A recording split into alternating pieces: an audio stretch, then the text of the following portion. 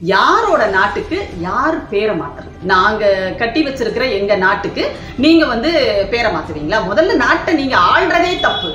இந்தியான்றது வெள்ளைக்காரன் கொடுத்த பேரு. வெள்ளைக்காரன் கொடுத்த பேரை எதுக்கு நாம வச்சுக்கணும்? இந்துன்ற பேரே வெள்ளைக்காரன் கொடுத்ததுதான். அப்ப நீங்க என்ன பண்ணணும்? இந்து அப்படின்ற பேரையே தூக்கி போட்டுடணும் சரியா? இந்து மதம் அப்படிங்கறத இதையே வந்து நீங்க தூக்கி போட்டுட்டு ஆரிய மதம்னு மாத்திருங்களேன்.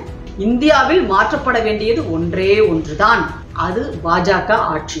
பாஜக என்ற கட்சி இனிமே வந்து தலை தூக்கவே கூடாது இந்தியாவில். அப்படிப்பட்ட ஒரு நிலையை இந்தியாவில் ஏற்படுத்த வேண்டும். இதுதான் இன்னைக்கு இருக்கிற சூழல். அதுதான் எதிர்காலத்தினுடைய தேவையாக இருக்கிறது. அப்பதான் இந்த நாடு உருப்படும்.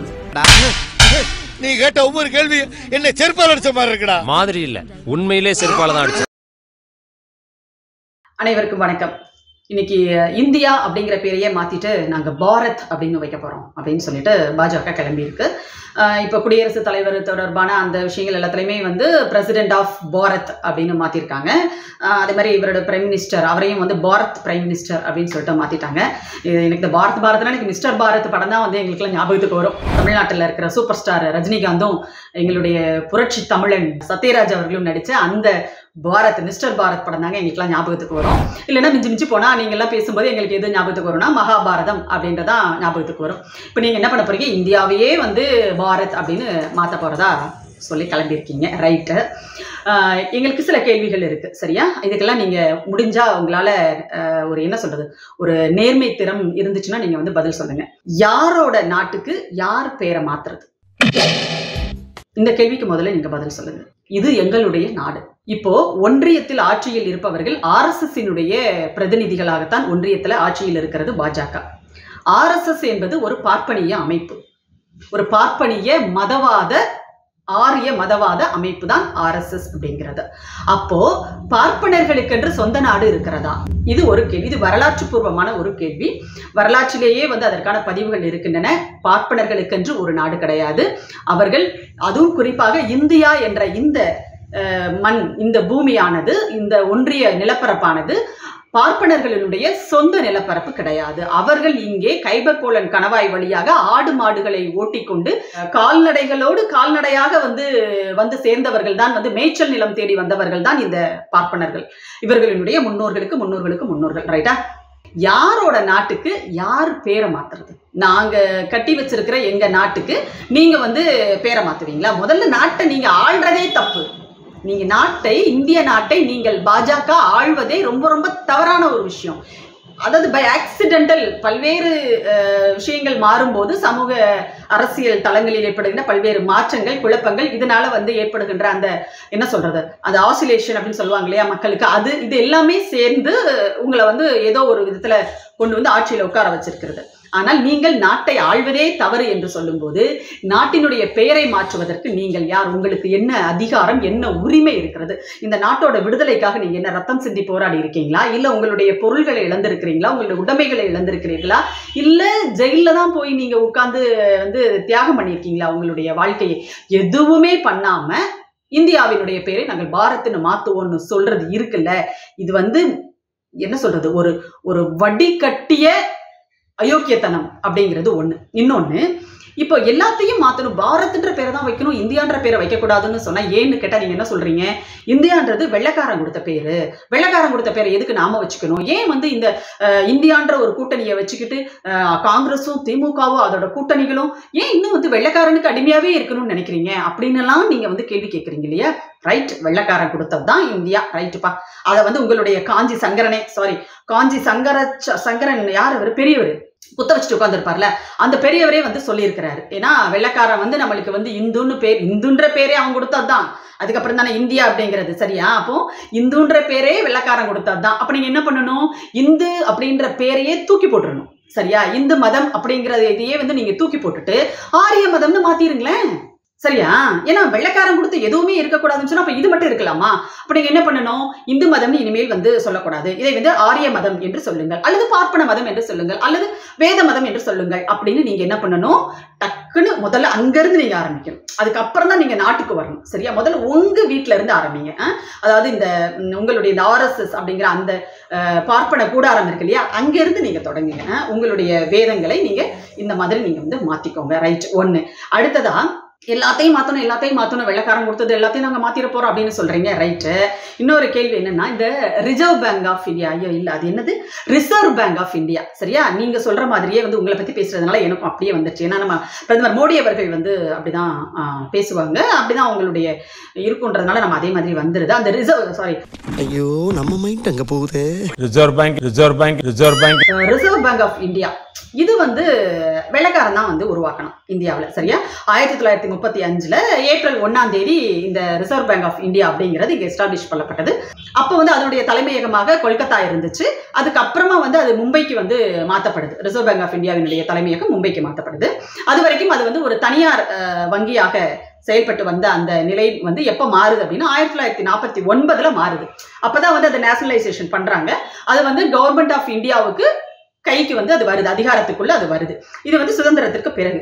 அப்போ இந்த reserve reserve bank of India இருக்குல்ல இதை வந்து வெள்ளக்காரன் கொண்டு வந்தது. வெள்ளக்காரன் எஸ்டாப்ளிஷ் பண்ணது. அதனால அதை அப்படியே இழுத்து மூடிடலாமா? அல்லாருன்னு க்ளோஸ் பண்ணலாமா?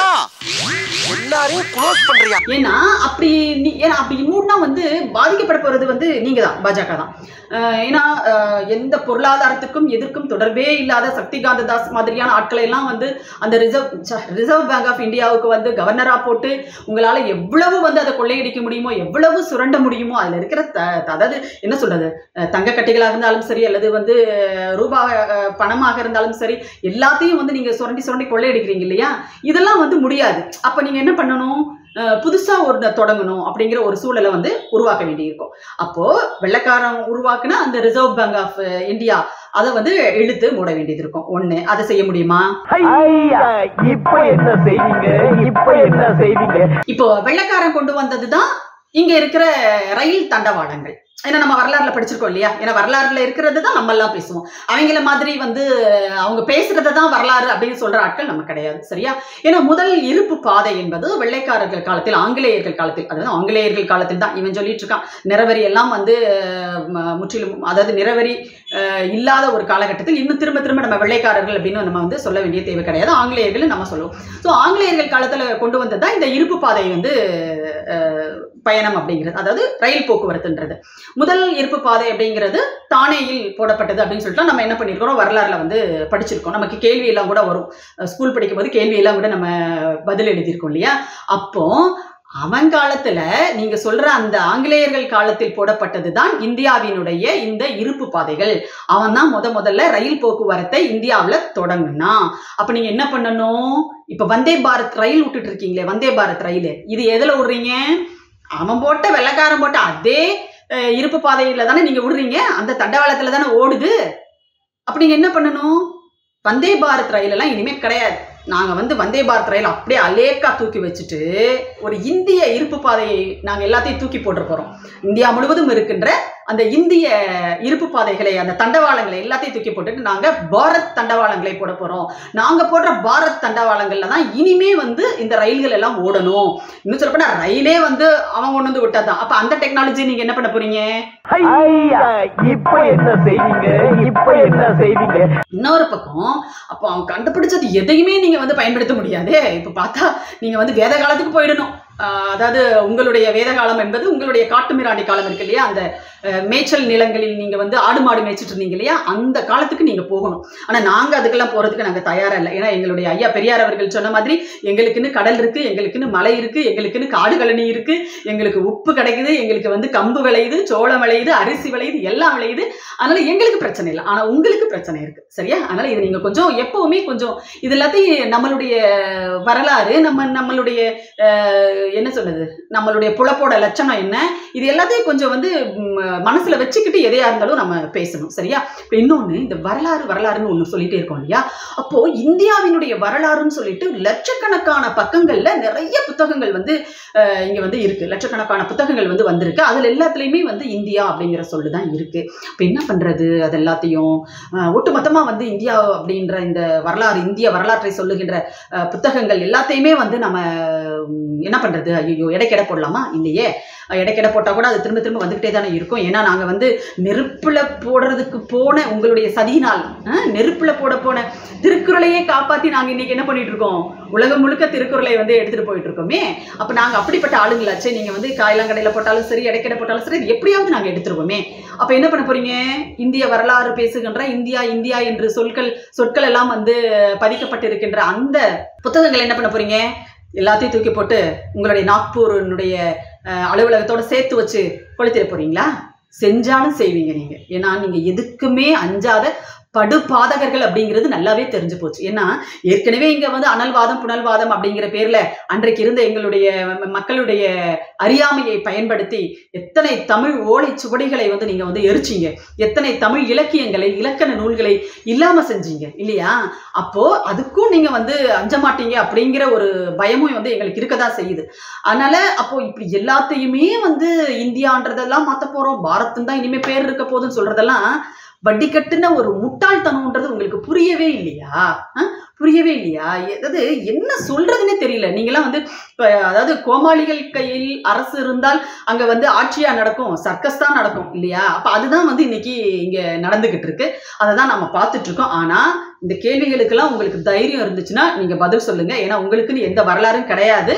நீங்க உங்களுடைய இந்திய வரலாற்றினுடைய பக்கங்களை எடுத்து பார்த்தா ஒட்டுமொத்தமாக உங்களுடைய இதெல்லாம் துரோக வரலாறு தான் அதனால இந்தியாவினுடைய பெயரை மாற்றணும் அப்படின்னு நினைக்கிறத கைவிடுங்க. இல்லைன்னா அது உங்களுக்கே வந்து ஆபத்தா முடியும். இந்தியாவில் மாற்றப்பட வேண்டியது ஒன்றே ஒன்றுதான். அது பாஜக ஆட்சி. பாஜக என்ற கட்சி இனிமே வந்து தலை தூக்கவே கூடாது இந்தியாவில். அப்படிப்பட்ட ஒரு நிலையை இந்தியாவில் ஏற்படுத்த வேண்டும். இதுதான் இன்னைக்கு இருக்கிற சூழல். அதுதான் எதிர்காலத்தினுடைய தேவையாக இருக்கிறது. அப்பதான் இந்த நாடு உருப்படும்.